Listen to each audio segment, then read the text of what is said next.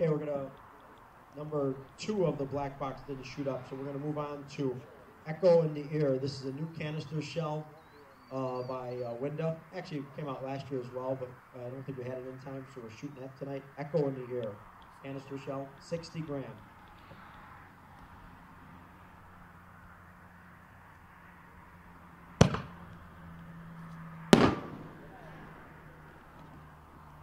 It's a 60 gram shell by Winda, Echo in the Air.